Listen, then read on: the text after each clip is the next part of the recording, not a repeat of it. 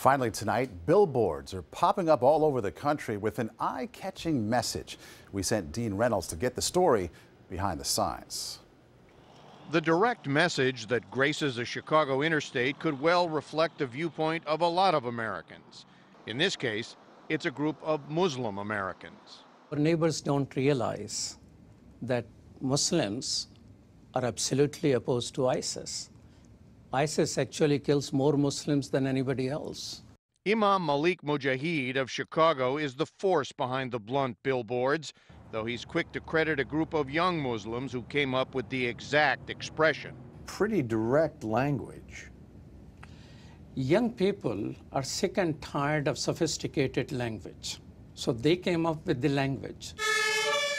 He told us the attacks in Europe and here in this country moved his community to be more active in their opposition to radicals. There's another blaring billboard in Phoenix, and he says he has requests for more from 15 cities. All are funded by local Muslim communities.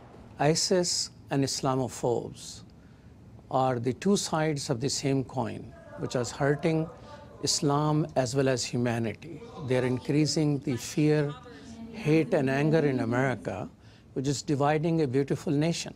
With ISIS implicated or accused in acts of terror across the West, and with attempts to recruit Western young people to the cause and the caliphate, the Imam says American Muslims are frustrated and in some cases frightened.